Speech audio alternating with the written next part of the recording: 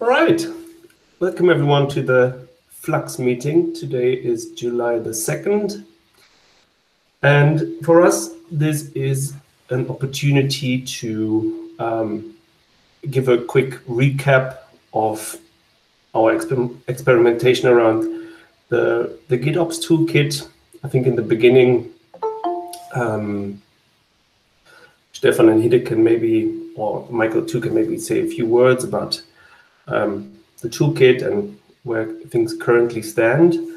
Um, in the chat, I give the link to the agenda doc. If you don't have access to it, um, just request access and I'll I'll add you to it. Um, I think it would be nice if people could um, add themselves to the doc and then maybe just say a couple of sentences like um, what your interest is and um, and we can take things from there.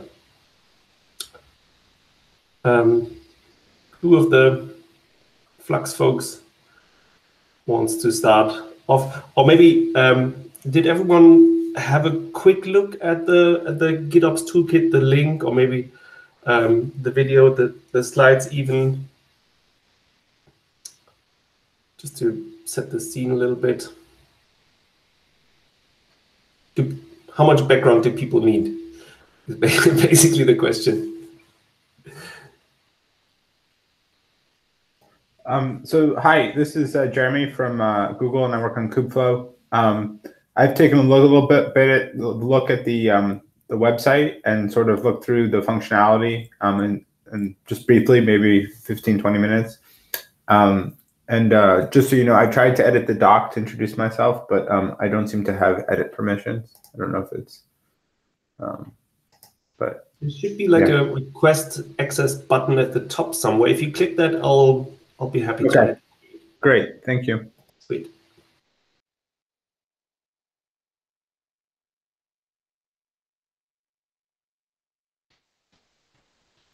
Um, um, yeah. This is Sean again. I work for uh, AT&T, um, and we use the the Helm operator. Uh, we don't use Flux at this point, but um, we we previously used a different uh, Helm deployment tool, uh, declarative Helm deployment tool.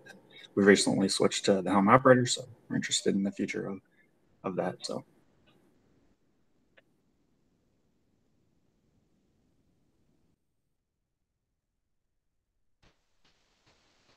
All right. Um, either Michael Stefan, does one of you want to take the floor and Stefan, do you feel up to it?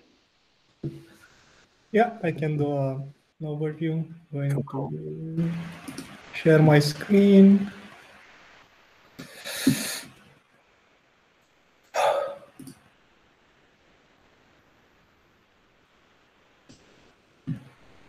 My CPU is on fire for some reason, so I see.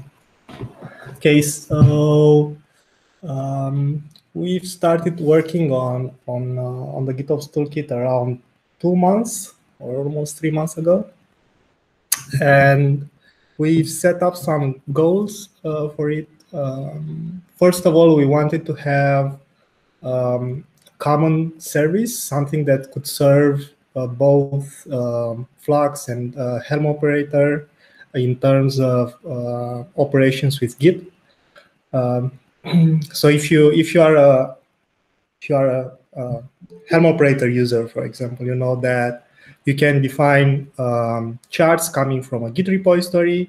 Also, in Flux, you can set up the same thing. I want my YAMLs to, to come from, from a repo. And what that means is that both uh, these reconcilers are doing their own uh, Git cloning and they are maintaining uh, maintaining the clone.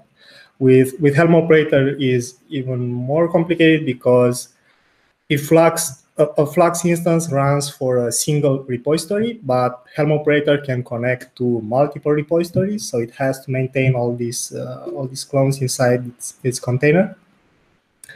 And we started by factoring out a thing called source controller, which is its own uh, deployment inside Kubernetes. It's a Kubernetes operator.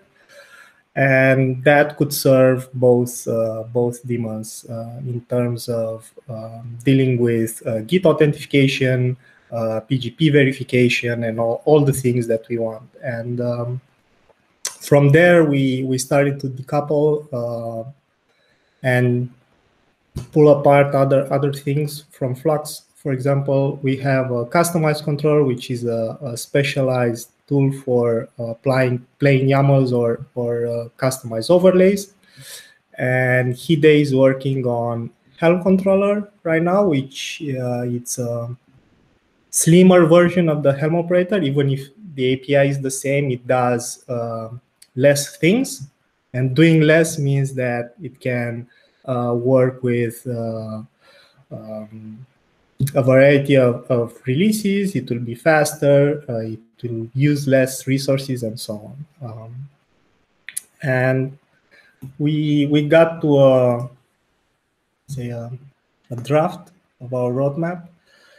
Um, we we've said here two things. We want to do uh, feature parity with Flux read only, and after we we manage to to get there, we'll try to um, create this image update component um, and to offer users a way to migrate from the from the current Flux annotations to a custom resource where you can define how how image updates should work. And um, this will also uh, add a lot of improve, improvements in terms of observability. You have a, uh, you have a custom resource where we can attach events and um, emit notifications and so on.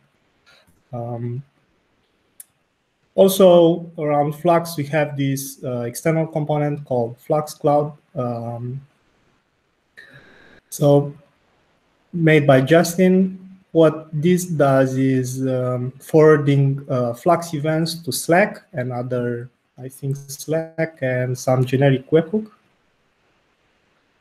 And we've noticed that, let's say, one in three users um, asked us are asking us after after the triad flux, hey, how do I enable notifications and so on. So um, to have a more um, more uh, a, a better approach to observability, we we developed a new component into the um, GitOps toolkit called um, the notification controller.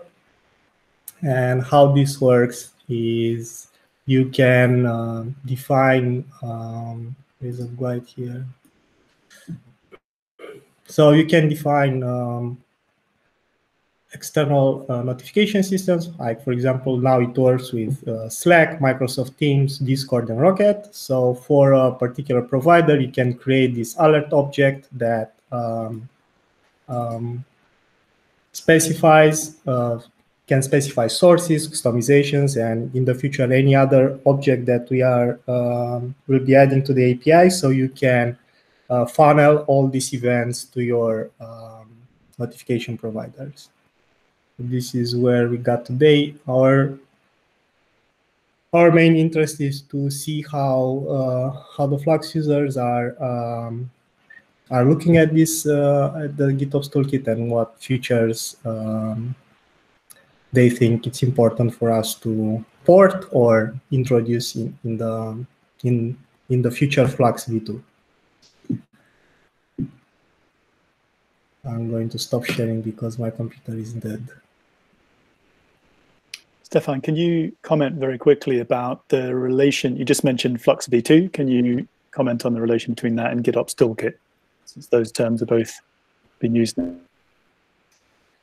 Yes, so the GitOps toolkit offers a CLI, and with that CLI, you can uh, install on your cluster um, one or um, multiple components that we have today. And in the future, we think that Flux v2 could be assembled from, from these components that will uh, match uh, the current Flux uh, features. And um, will probably offer um,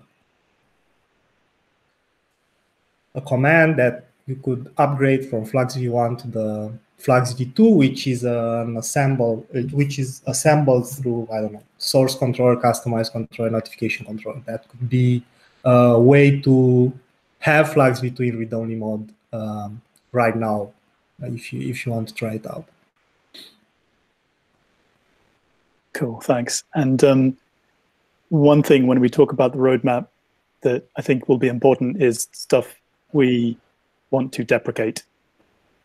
Um, especially um, important to talk about with with people who use it, um, because obviously you need to know about that well ahead of time, and you know have a recourse to trying to persuade us not to deprecate things if you really need them. So that, that will come up when we talk about the roadmap a bit later, I think. Yeah, um, I you want me to go into those details or?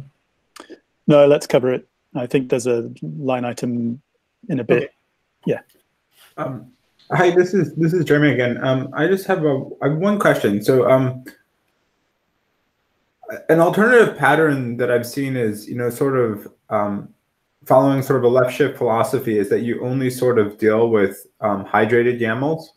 So you would have sort of a two-step process. Like if you're using Kustomize or, or Helm, you would sort of hydrate the manifests, you know, run customized build, etc., and you know check those manifests um, into to um, your Git, and then so your Git Git your uh, GitOps tooling only has to deal with like hydrated manifests.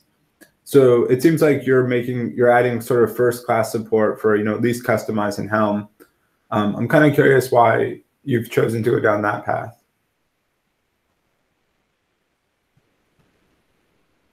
So we are we are trying to move away from um, running all sorts of generators inside the cluster. Uh, right now in Flux, we have this flux.yaml that you could call out to, I don't know, a bash script or a make file inside your repo that will um, generate the YAMLs on the fly, the, the final bits um, with the with the toolkit we'll we'll want to have a, let's say a, a, final version of the of the YAMLs in your in your repository and apply those. Um, now, for for the customized controller, it will run a customized build for an overlay, but it can uh, uh, also uh, apply a plain YAML if you if you do a customized build, let's say in your CI, and you write that output to a dedicated branch or a directory or something. Um, okay. Thank you. And with with Helm, um, yeah, if we if we use Helm as a templating engine, let's say in CI, and you do a Helm uh, template and you write all those YAMLs somewhere, then you'll not need um, a Helm controller anymore, right? They are just plain YAMLs that you can apply with, let's say, customized controller. But then you'll you'll lose all the all the Helm features, like you'll not be able to list releases, you'll not be able to run Helm tests or do automatic rollback and so on. Yeah, so from a slightly different direction, um, to paraphrase that, um, that lots of people have success with Helm and want to stay in that land, just want it to be a bit more um, declarative. And I think that perhaps is um, where Sean, um, I think you said you use Helm operator, but you don't you don't use Flux. Um, and we find that lots of people are in that position. Actually, they they don't need Flux, although they might use it um, for other reasons. But but the main thing they care about is actually having a better automation for for Helm so the reason for the Helm operator um, in the GitOps toolkit is to support those people. But the, there's not a general pattern of if there is another kind of way of generating YAMLs, then there will also be a controller for that. The the plan is um, Helm has a kind of special is a special case for people that like that, and there are lots of them that want to live in Helmland, and then you know, to cover the other bases, that's plain YAMLs and Kustomize because it's built into Kubernetes more or less. Um, thanks. That, that makes a lot of sense. I guess so. Um, I guess a follow-on question would be for for people that are just starting out with with Git or with Kubernetes and they don't have an investment yet in Helm. Um, is there what, what's kind of the recommendation, or is there like an emerging consensus? You know, or does Weave have a position, or whoever, like whether dealing with hydrated YAMLs and is the better approach, or you know, do we see sort of a consensus emerging?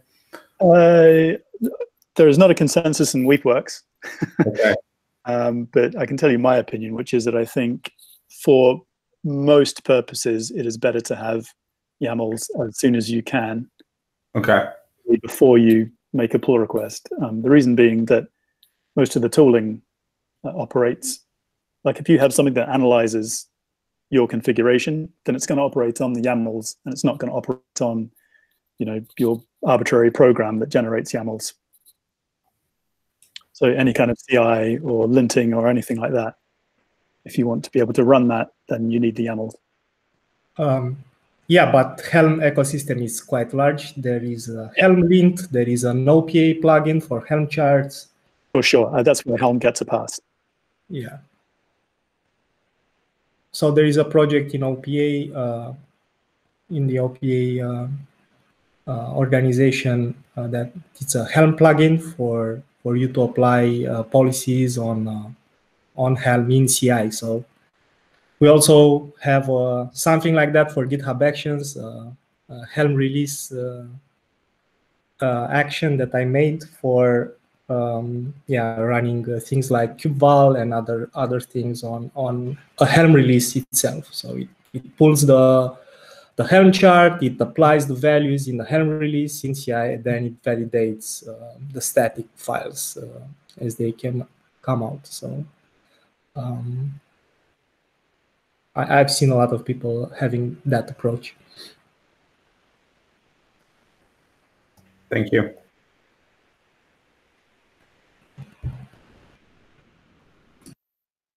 Jeremy, did you say you work with Kubeflow? I, yeah, I work with with Kubeflow. I'm also at Google. Yes. And is that Jsonnet still? Am- Have I got that right? Oh no, we moved off that. We, we, moved, we moved off that when uh, um, uh, uh, ksonnet got uh, deprecated or archived. So um, we use uh, Kustomize, um, and um, I really I really like it. It works well for us. And then we're starting to use um, kpt functions to do more complicated um, transformations. I really like that philosophy. Um, And then um, just as a as a data point, at least for for Google, and then for some of our C, C, uh, CD CI infrastructure that we're running for for Kubeflow, since that runs um, on GCP, we're using ACM, which is um, Google's GitOps tooling, and um, that just that that's made the decision, at least for now, to only deal with hydrated manifests as one sort of data point to our conversation. Yep. Yep. I thought that Jsonnet might be the motivation for your question, but I was wrong. That's fine. Yeah.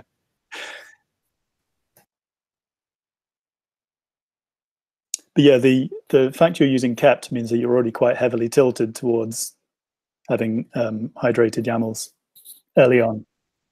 Yeah, I I also talked to Brian Grant a lot, so if you And that. yeah.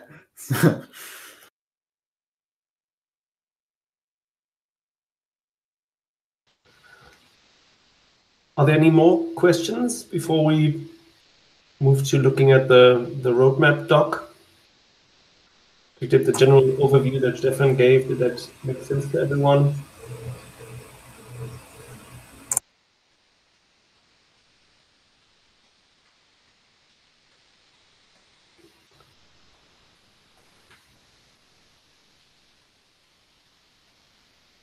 Arthur, did you want to say anything? Uh, I'm sorry. Uh, I just I don't know if that's the right time to ask, uh, but I'd like to start working on some issues, uh, uh, especially on the observability issue. But I don't know if that's the the right time to ask how to get started. And maybe somebody can say a couple of things on where we stand there or what needs to be done. On the observability end. I've seen there is this issue that I've posted on the chat. But I, I've asked it about it on the Slack channel, but I didn't get any answers. So I'm assuming you guys are really uh, busy with the Flux V2, right?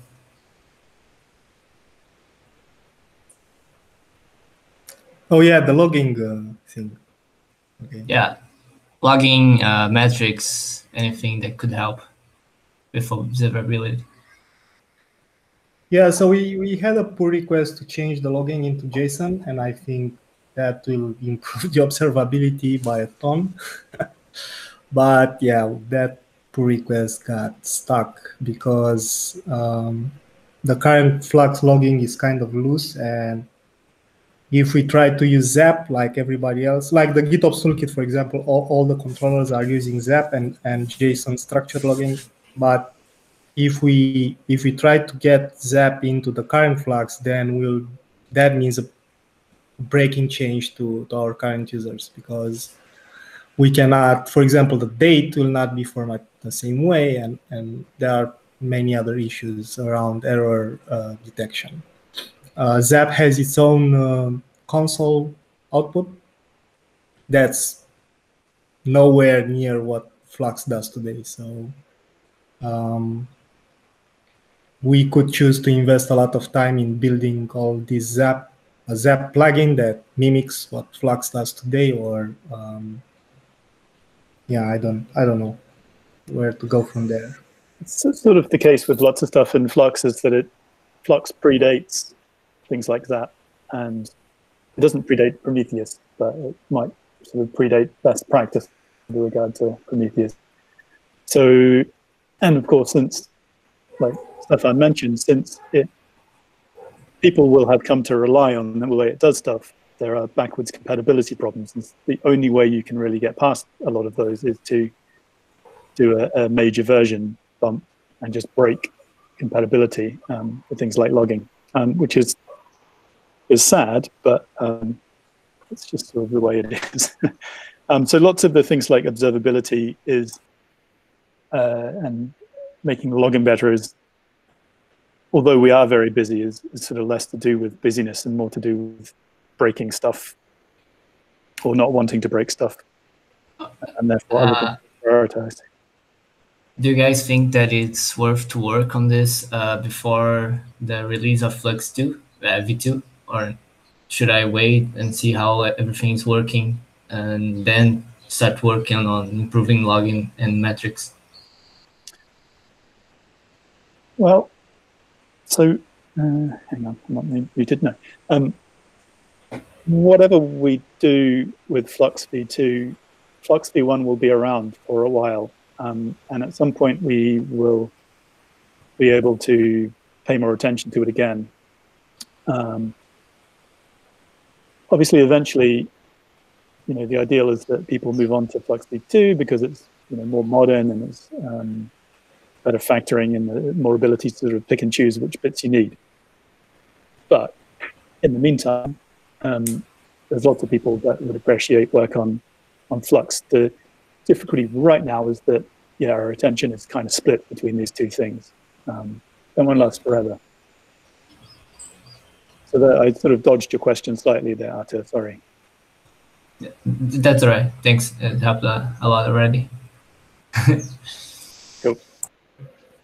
So Arthur, I have a proposition for if you are interested in uh, observability future. We futures we haven't got to that part yet. Uh, so we we have the logging sorted out in the GitOps toolkit, but um, and now we we've built notifications into it.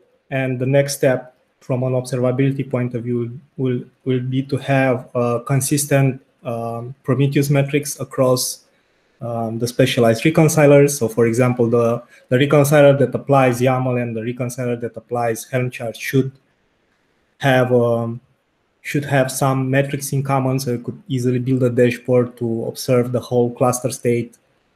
Doesn't matter if it comes something a change comes from a Helm chart or change comes from, from a YAML or whatever. So if you want to get involved into into building a, let's say a draft of what what metrics should we um, expose and uh, and how to do that and create like a common library for all these metrics so we can use them in all the components that will be that will be a great help. All right. Thank you. Thanks so, so i have a question about scope um, so the, the problem that we're seeing right now in our GitOps journey for, for Kubeflow is actually sort of upstream of um, rolling out our manifests and it's actually in sort of the automation of, of pull requests, right? So we're we're a multi you know repo project. So typically a problem that we would have is you know you have one repo where we have the source for our application, and then we have another repository where we actually store the customized manifests that we want to you know for for our applications. And so this the kind of automations that we want to do is we want to um, after somebody submits a commit to like a, a, or pushes a new Docker image, we want to automate, you know, creating a pull request that would update the YAML file that would then reference that um, uh, that new Docker image, right? And so, you know, the, the the tools, tooling, and library functions that we're sort of looking for are things like, you know, creating um, uh, uh, a pull request, right? Um, and also, uh, and and so I was kind of wondering if that was in, in, scope for um, uh, the, the toolkit. Like right now, we, we just kind of like shell out to um, the appropriate CLIs, Git and Hub and whatnot, um, which works. Um, but it seems like this is a common problem, um, and it seems like there's opportunities for improvement. So I'm just wondering if that's in scope or not.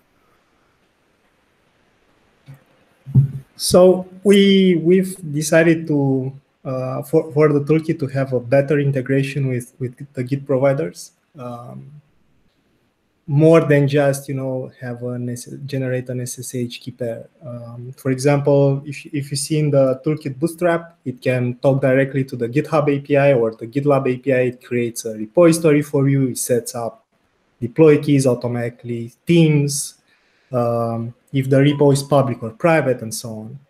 Um, and we will be working on um, on a webhook receiver for all these providers. For example, when you let's say open a pull request, um, maybe you want to react to to that uh, action.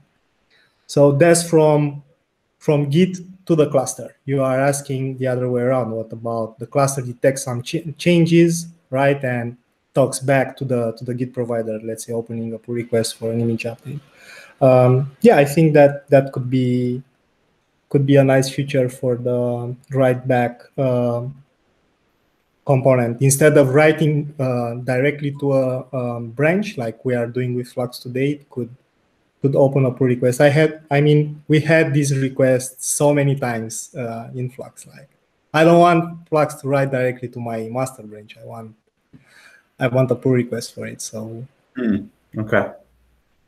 Okay, uh, sounds great. Um, okay, thank you. I, I would love to uh, collaborate on that. So you know, let me know, um, and maybe we can discuss. I'm not sure where, but um, let's, yeah.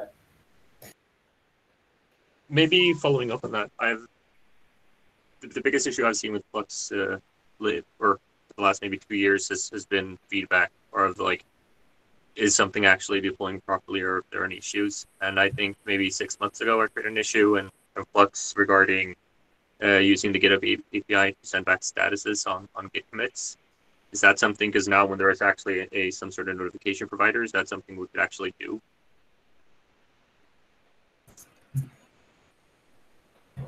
So, uh, yeah, yeah, go, go, Michael. For this in the last question, the the um, which are about scope, I think answer, uh, and Stefan will give more detail, uh, I think, in a second, but is aspirationally, yes, those sorts of things are in scope.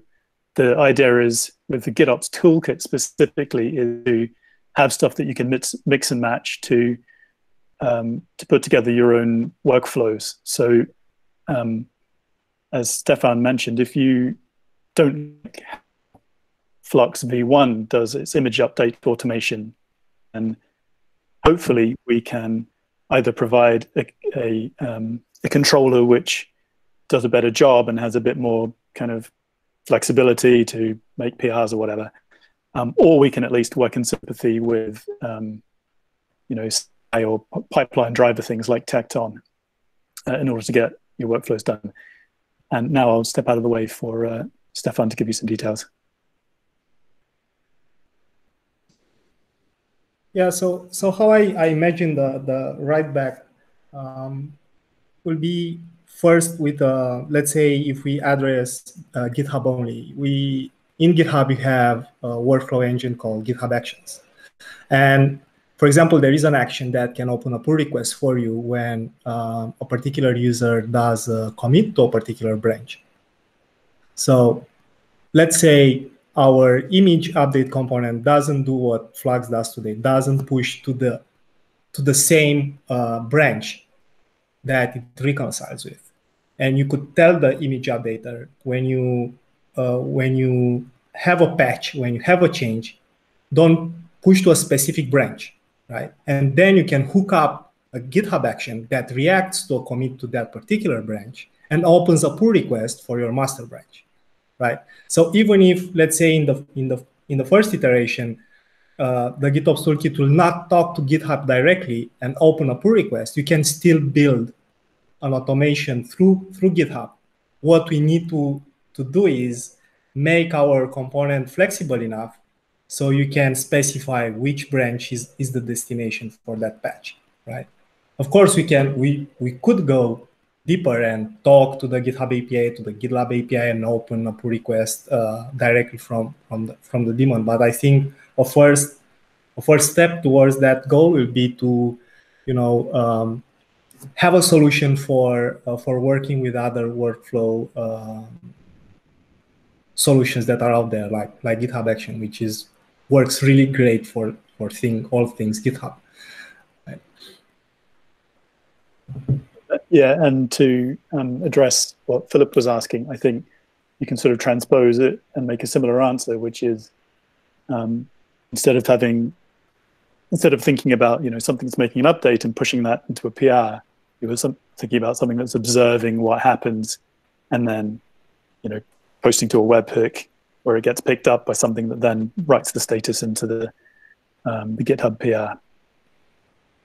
Yeah, exactly. Because I'm mostly just concerned of as, as long as there's a, some reasonable API that's exposed that's giving some other controller that can consume events.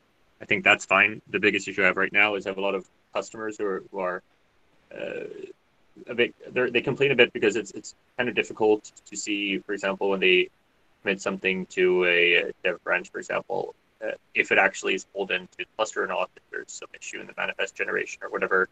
And the same thing goes for when we're using Helm operator to know is the Helm operator actually successful when it's applying the Helm chart.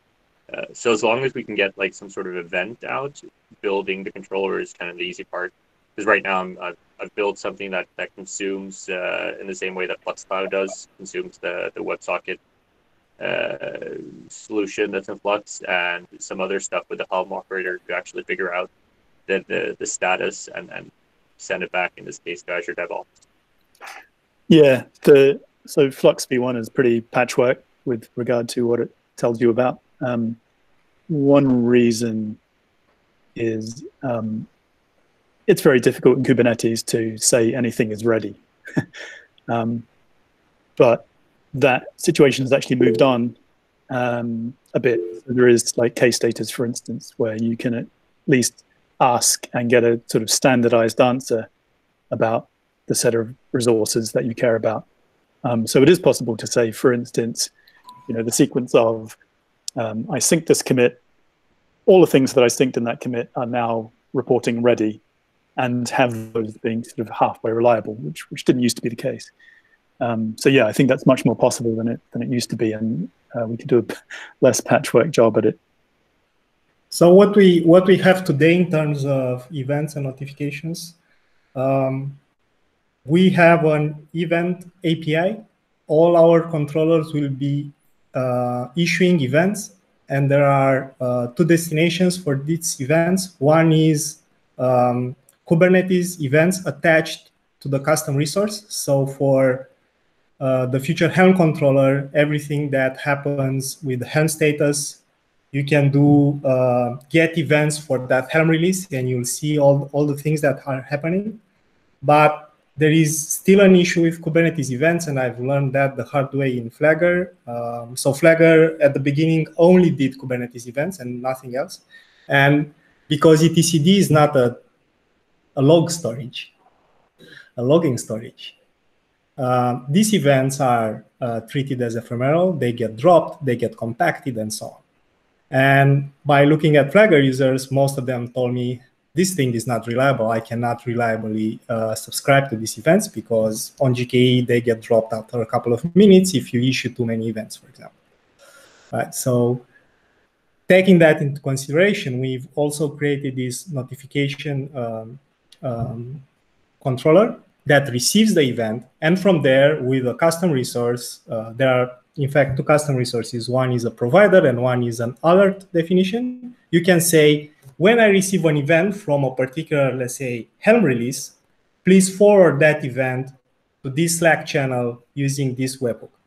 So let's say you could, for example, get in a in a Slack channel or Microsoft Teams or Discord or, or Rocket all the events that are happening with uh, with uh, Helm release uh, cycle. If the test fails, if the install fails, if it rolls back, everything that the Helm operator does in terms of actions will be um, streamed through these events. And um, one one thing that we we don't want to get into is uh, events uh, persistence. So for that, we we can forward all these events to your custom uh, web, um, webhook, and from there, let's say you can create a Lambda function that has an HTTP post. We send that event to you, and from there you can do, I don't know, send it to PagerDuty or save it to Elasticsearch or build your own things after that. Um, there are so many ways you can uh, deal with events, right? Everybody does its own thing. Some people run Elasticsearch, some people use Stackdriver, CloudWatch, you name it. We cannot just integrate with everything out there. So um, the, toolkit offers you this possibility to say, hey, um, forward all these events to my custom endpoint, and from there you can build your own thing around it. But observability in terms of Helm releases and what you apply and the health checks of deployments, uh, stateful sets and daemon sets will be um, bubbled out from the cluster in a way or another. That's that's on the roadmap and half half implemented. Uh, then needs to build it into the Helm controller, but um, it will be there for sure.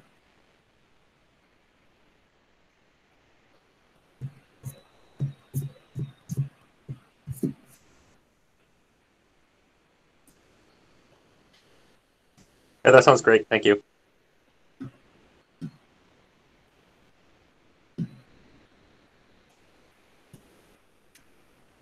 Uh, should we go into reviewing the roadmap? I think Stefan stepped through it a bit already. Um,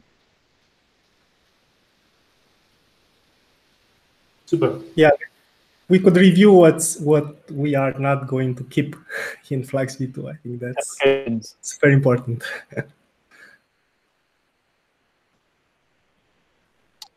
yeah, um, maybe you could, Stefan. Do you reckon you can do a um, phase by phase, you know, very, very superficial summary of these features, not these features. Yeah. Even if you it out from the, the page. Um, yeah, I'll try to share my screen again.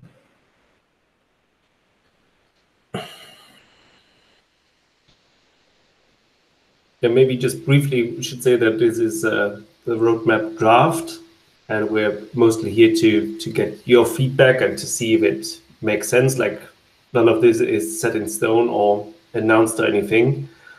Um, it's quite important that we build this together and see what's important to everyone. So for, for each milestone in the roadmap, we've set some known goals. And um, for example, to get a feature parity with uh, Flux in read-only mode, um, that doesn't mean we'll uh, we'll keep supporting uh, Flux YAML format.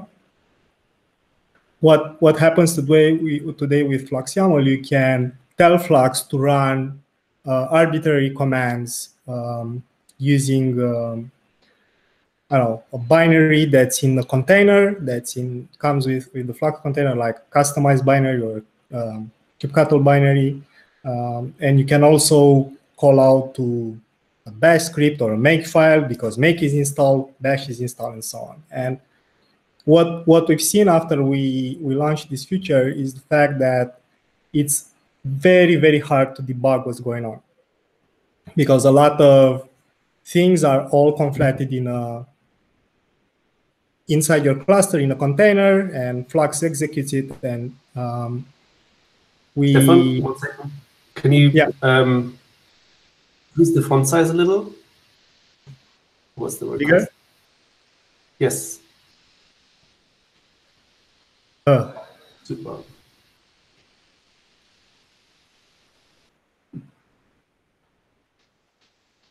Yeah, I think we're good.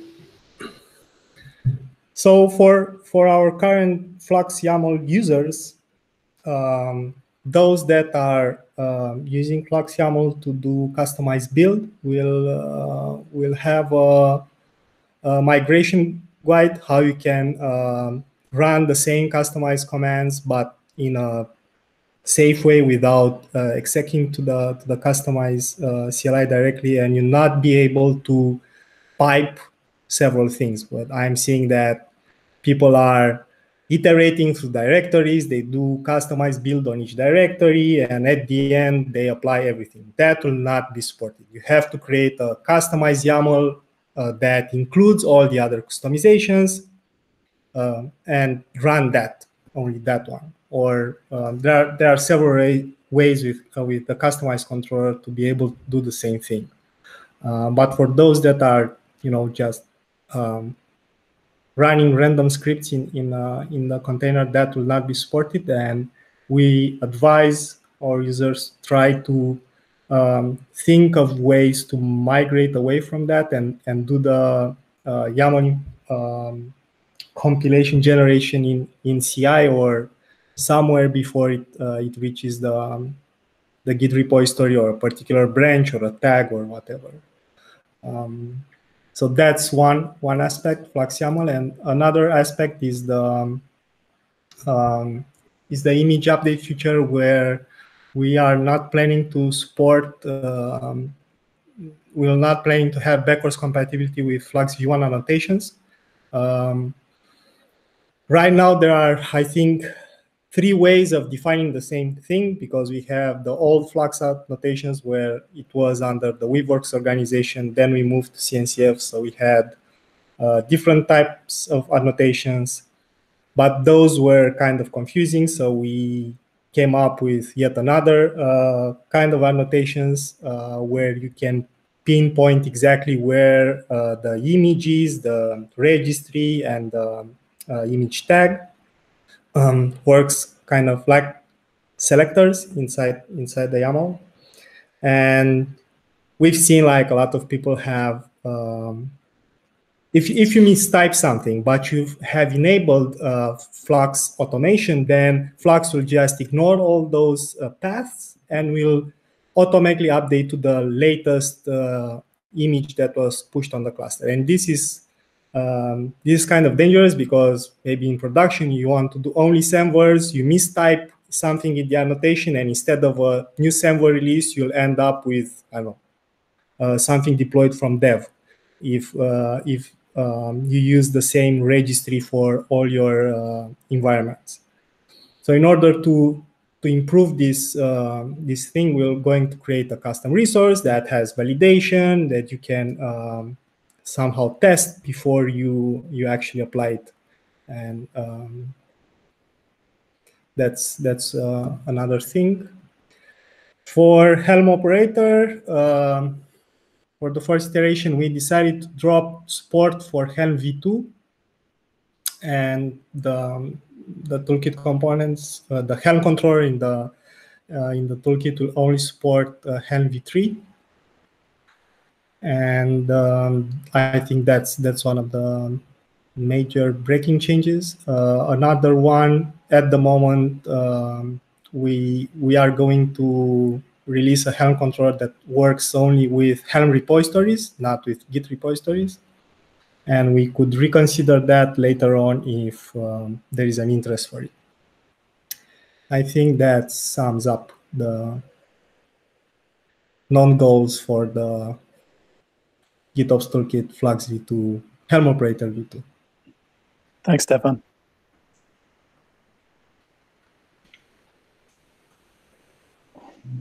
Did anyone have a So- reaction? Tara?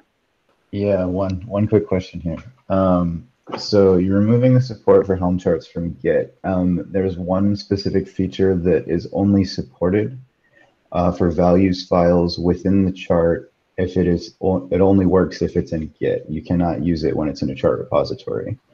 Um, this is something that we had a lot of trouble with uh, implementing in our first phase because we wanted to pin the chart version and the image version together um, so that way, when someone builds their code, the version of the chart, you're always going to have the locked commit to the same commit that was the um, the build artifact came out as.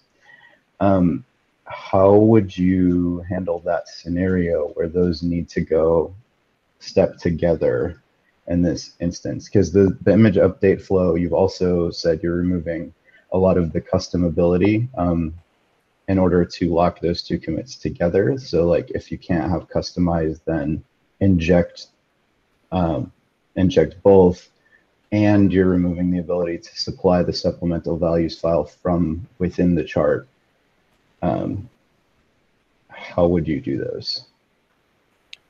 Just a note on the annotations. Um, the thing that's being, it, so we're breaking backward compatibility, but we're not removing them entirely. Just removing Okay. some of the order options and maybe chopping and changing it a bit. But the the feature, I think, um, may still survive. So in, in terms of, of Helm releases, what what we have today in source controller is the ability for you to say, get me the latest release of a, of a Helm chart that matches um, Semver um, expression, a Semver range. That was not supported in Helm operator uh, at the moment. So you are forced into matching uh, image uh, container images with configuration. How we are solving this issue is by allowing you to say, hey, I'm every time I'm changing configuration and containers, I'm going to create a new version of the chart. I'm going to push that chart to my Helm repository. Then source controller will detect, hey, there is a new chart version. It will pull that chart into the cluster and Helm controller will apply. And what it will apply is both new images coupled with the right configuration. Does it make sense? I guess so. Um, it still wouldn't be able to selectively apply. So our scenario is that we're choosing a values file from within the chart, and that only works from the Git. Um, it does not work at, with a chart source being as a chart repository. So that's one feature that would be lost. And so in order to be able to march those together, that's kind of how we solved that problem. And we did not use semvers in order to do this. We had to use the git tag or git sha as our reference. So um, if if you're suggesting that we would be able to, in a fully semvered, I guess, a way of thinking about our build artifacts, accomplish the same. Um, uh, is that what you're saying?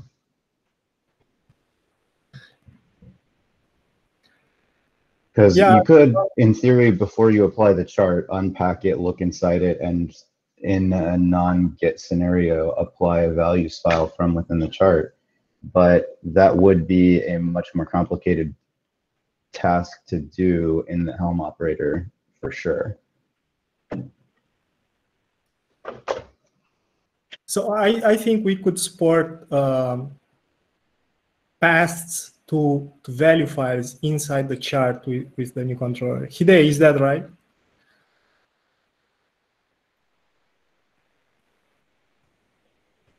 Yes. Uh, because we don't enter the the chart, but we but the, what the new or at least the proof of concept thing I'm working on does at the moment is it simply fetches the tarball and then gives it to Helm, and then it works just like feeding your Helm CLI uh, some artifact, but it doesn't enter. But I think it would be possible. But the same is like Git isn't included at the moment because we a non-goal is it's a non-goal for now. I can imagine that we will add it at a later moment to the source controller and things will, or at least it will be able to build Helm charts for coming from some Git repository.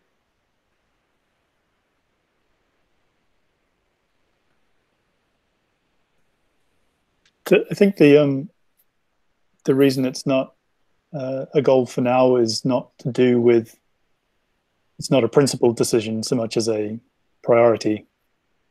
Is that nod if that's a fair statement? Yeah, he's head is nodding. Um, so it's not something that's ruled out. It's just something that it was like the first iteration of the Helm operator used Git exclusively, and that turned out to be what 90% of people didn't want. So then we did the other thing. so we're just respecting that kind of priority this time around. The Helm operator is a complicated piece of code is due to the fact that it started with Git. So by taking the Helm first approach,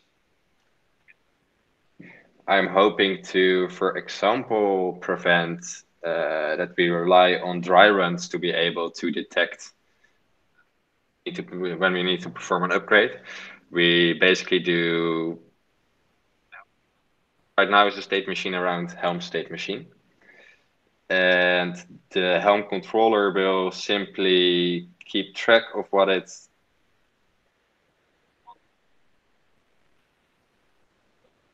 if on the next run it no longer matches the, the recorded or the, the helm state no longer matches the recorded state from the custom resource, it will simply perform an upgrade instead of doing a dry run and then trying to figure out if uh,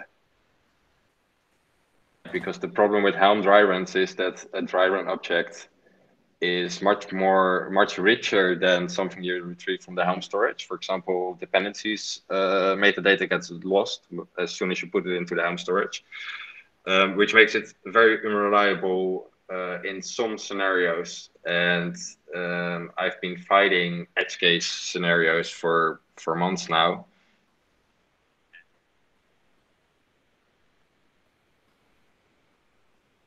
Helm, the Helm route first without involving Git, it will be a much better or much easier to build a better solution. But that doesn't mean we are not going to ever and to create Helm charts from Git out using the Helm controller. So Tai, if you could reference uh, a value file that sits in the chart itself, will that solve your problem? Let's say, so you, you create a new chart release. Uh, by default, if you push it to a Helm repository, then you have to use Semver because Helm repositories only support Semver, which from our perspective is the best way to, to deal with uh, um, you know production systems. Like you don't have to look at timestamps or anything like that. You just uh, just give a a Semver range. If you if we can if you can reference uh, a different values than the values the default values YAML from from the chart itself, would that solve your issue? Yeah, I think so. I my first pass when implementing Flux did exactly that. It, the tag was different than the semver that for the chart, obviously, uh, the image tag. So like, we ended up having to not use Flux's auto release feature and make the commits from the CI to do that. But if you could then reference via a chart repository chart, one of the sub a file within it as a as an additional like dash f flag for Helm, then yes, that would that would work. Great. We should note this down. yeah, I think it's uh, to be use case. To be on the Helm release or on the Helm chart object? On the Helm release object, right? Right. Right now it is specified in the Helm release object, and if it's a Git source, you just specify the the additional values file, and it's like for us it would be environments develop.yaml. Um, but then that would be how we that's how we have all our charts versioned with between different environments.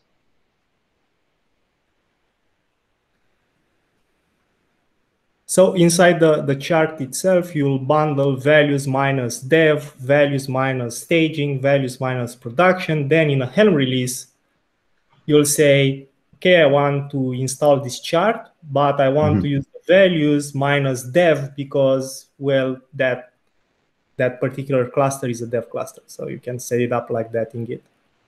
Exactly. Yeah.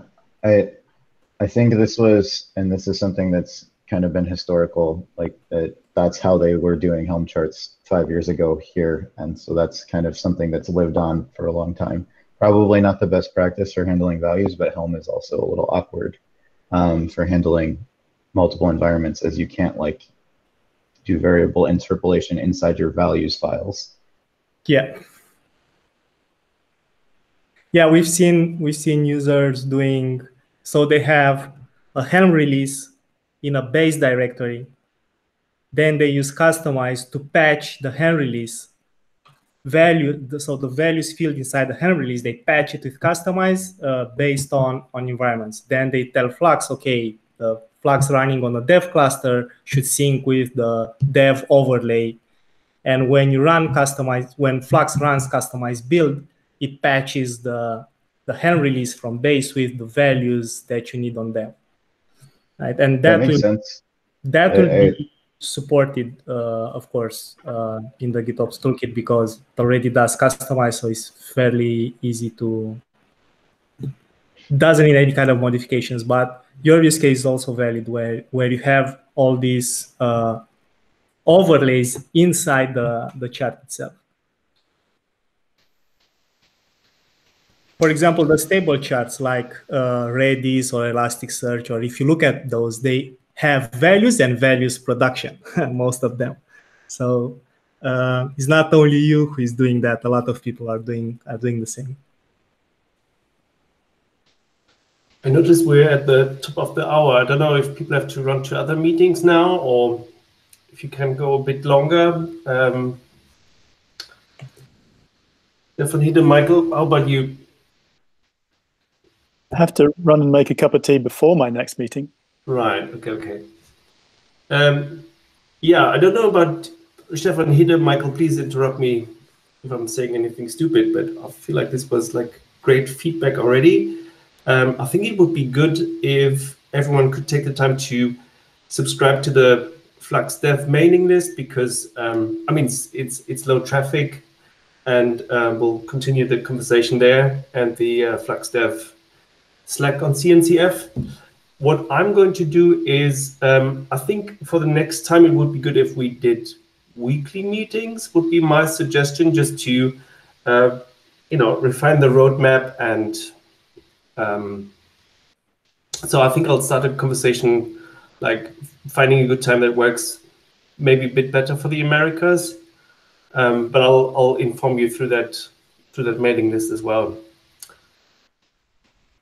Any last things or any things where you need particular help or input right now? Yeah, I, I, would like to ask Tai if, uh, if he can open a, an issue on the Helm minus controller repository in Fluxcd organization uh, around the use case we, we've discussed. And we'll take that into consideration. Thank you. So specifically there's two, there's Helm operator and Helm controller. Controller is a new one, so that's the one you want.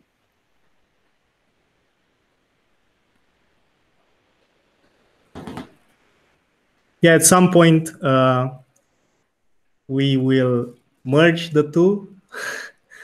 So yeah, but it's it's far away. But we in the future there will be no Helm controller and Helm operator to just be one of those two. Uh, but for now, we we want to keep them separate so we don't mix um, all the dependencies and so on.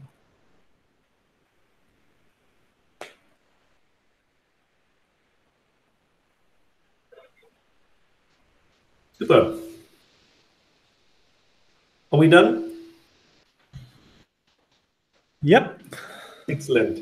Thank you very much, everyone, coming along and Yes. great question.